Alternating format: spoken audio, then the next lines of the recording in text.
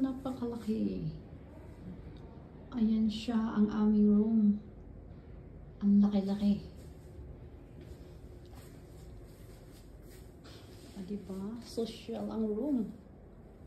Ang laki.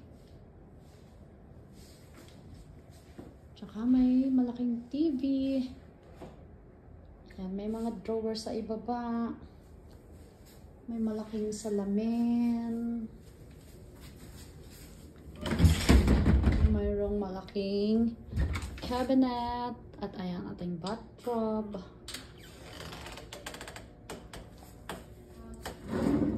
Lower. At ayan ito. Ayan, may plancha. Ito.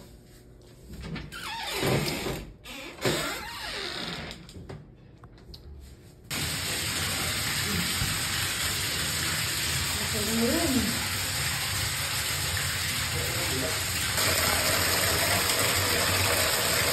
Sorry, bro.